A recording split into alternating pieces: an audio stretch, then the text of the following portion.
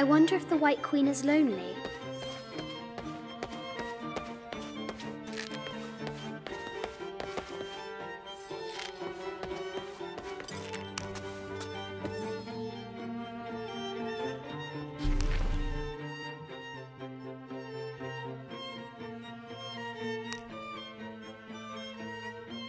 It has taken our hero years to piece this map together, spending nights in dusty libraries going through ancient tomes, exploring sunken ships, stripped of treasure, and chasing down any lead, no matter how faint it may be.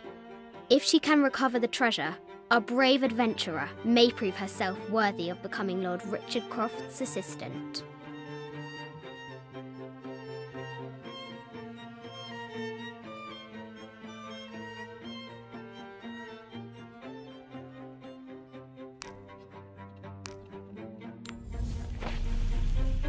The note said 90 degrees east and 30 north.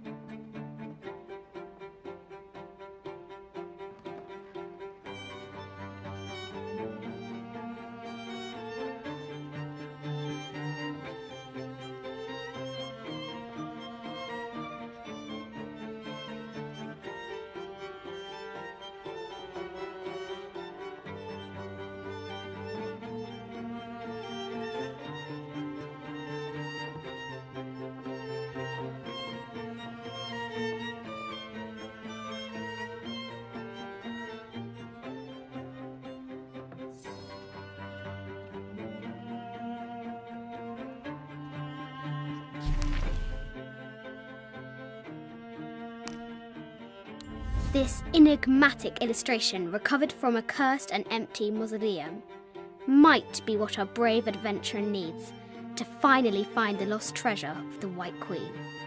She's managed to decipher the ancient text and has found a series of clues a set of coordinates, a giant bat, and a series of game pieces in a line. The intrepid Lara will have to figure out what they all mean.